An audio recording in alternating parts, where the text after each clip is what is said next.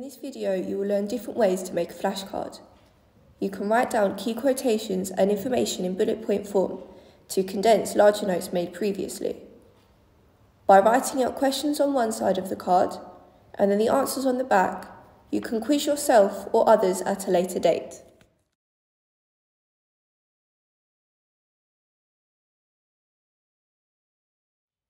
Using pictures to help you identify key themes in the text and associate them with characters or definitions is also effective as you'll be able to visualize the image and colours in your mind.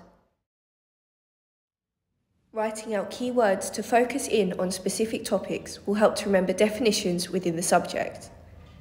To summarise, writing out keywords or quotations, questions or illustrations are all efficient ways to make a flashcard.